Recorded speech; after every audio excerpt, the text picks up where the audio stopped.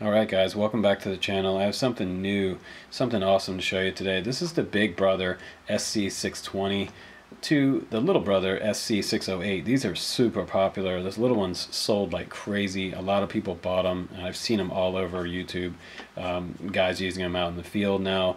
Friends of mine have them and they're just really nice because they're so portable and you can use them in the field with a LiPo to charge your race batteries. Now I have a R-Line Tattu battery sitting back here, a 1300 milliamp 4S battery, and you can charge these all day long on this little charger. So really nice. And also in that other video, I don't know if you watched it or not, but I show you how to make a little 12 volt DC converter that you can just plug into your power strip at your bench. That way you can use it right on your bench or you have the option to do LiPo out in the field. So uh, 9 to 32 volts power here and I believe the same thing on this one as well it looks like 9 to 30 so this one actually takes two more volts than that one but the cool thing about this one is, is that this one will also do high voltage batteries, which are getting really popular. And most of the ESCs out there can handle some high voltage uh, as long as you're in 20 amp and up range. And the smart charger 500 watts 20 amps is pretty amazing. Don't try to charge some of your smaller batteries on 20 amp. Make sure you read the C ratings and read the charge ratings that comes with each individual battery.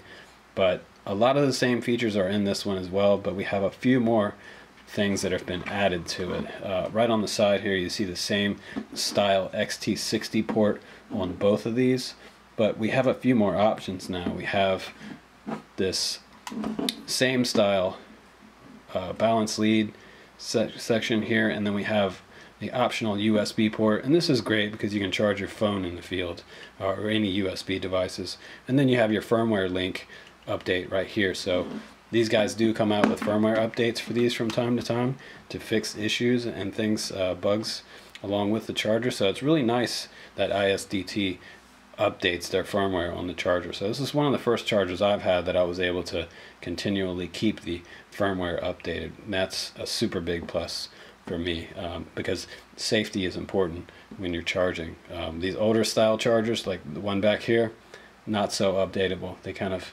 stay the same, and if something's wrong out of the factory with it, you're going to keep that bug uh, as long as the charger's around. So let's go ahead now. Let's go uh, take a little closer look at the menus inside the 620 and what it's capable of.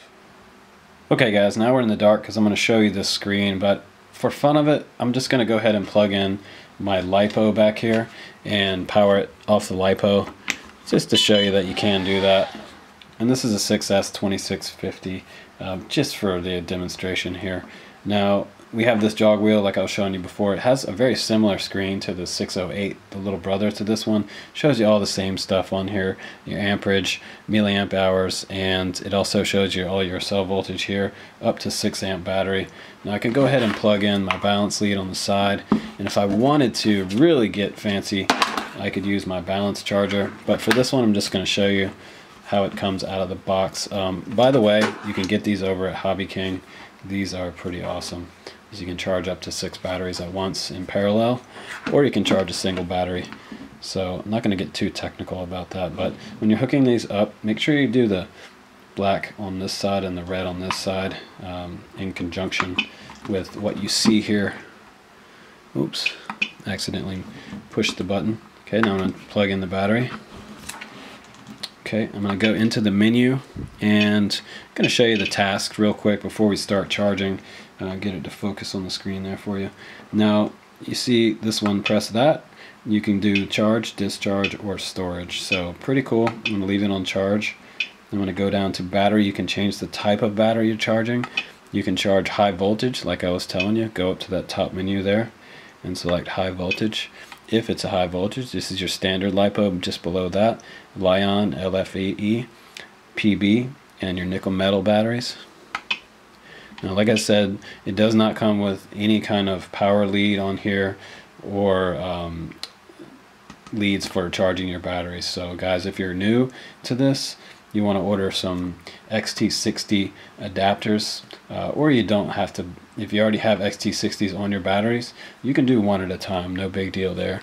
Now we'll go down to cells here and I can change the different cells in the battery uh, and I can charge a 1S if I want or I can go up to 6S.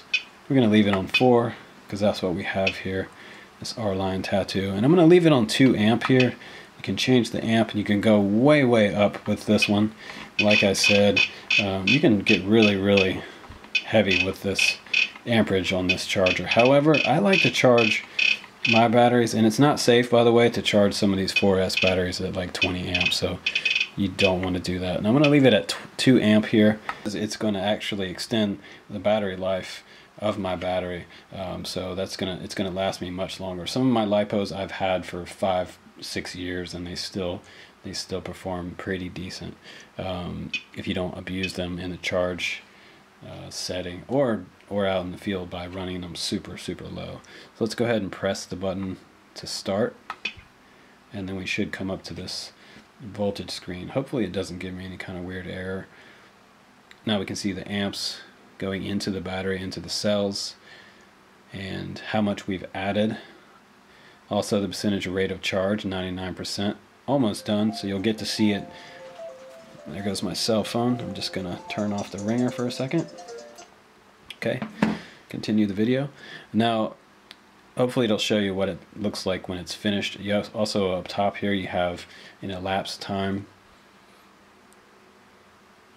And I can click on this wheel during the charge and I can go in here and stop something. And I can also change the amperage in the middle of the charge. So that's something new to me. I haven't been able to do that before. I don't believe my Quattro does that. And I can go back out to that main charge menu. And as the charge completes the cycle and balances all the cells, this will start to go down in value and it'll just top it off as it gets really close to the end. And this battery was pretty much fully charged when I picked it up. But this is a good one for the example.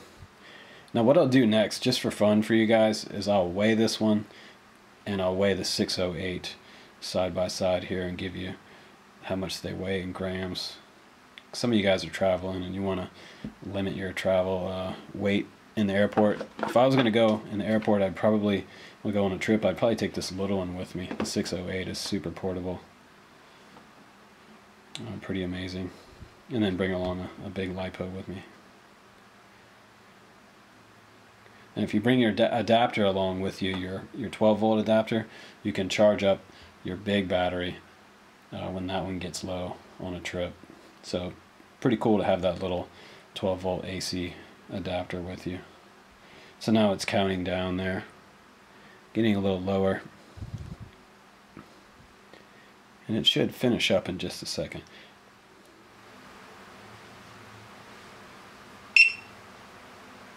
Now, like I said, I'll go ahead and take my roller and I'll do some measurements for you guys. And the 620 is coming in at four and a half inches wide by five inches I believe in height. So four and a half by five on the 620 and the smaller little brother is almost a little bigger than a business card uh, three almost 3.5 long by two and a quarter wide so pretty small for the 608 so I'm going to go ahead now and do the weights on these and I'm going to let you have a little more information about these before we end this video. Uh, I'll start out with the 620 and I'm on grams right now on the scale and 279 grams. That's about 0.6 pounds. Uh, just over a half pound for the 620, not bad. And the 608 coming in at 108 grams, not bad. Less than half the weight of the 620 is the uh, 608 super cool.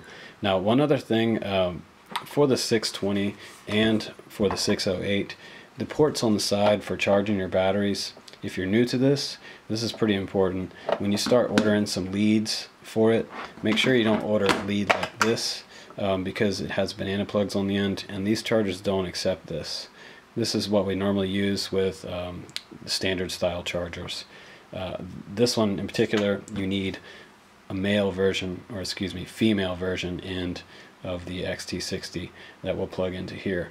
Now this balance board that I showed you earlier, it comes with that style end on it and you can just plug it right in and you can start doing your charging here with this. Um, you'll start over here nearest to where the power comes in and go down. And that's the way we usually do it. Uh, and you'll see 2S, 3S, 4S, 5S, and 6S balance ports. And you'll start with your main port here, and you'll do your balance plug. And then you do this one, you'll go on this side, this side, and this side, just like that. And then don't forget to plug in your balance port here as well. But a nice way to charge out in the field or at home on the bench. It really lightens the load for most of the charging that I do, and it's really, really nice. Uh, also, I like the fact that it does come with that USB port on the side here. I can charge my iPhone in the field or any Android style phone uh, with any standard USB. It charges 2.1 amp, by the way, uh, 5 volt connector. So pretty cool. I like the 620. Uh, 500 watts at 20 amp is pretty amazing for the size and, and included with all the different features. But if you want to grab one of those, if you didn't already get the 608, be sure to grab one of those because that's a decent charger and super duper small. Uh, but this has been the Big Brother, the SC620. You can check out the link below. Thanks again for watching. I'm Justin Davis. I'll see you on the next one.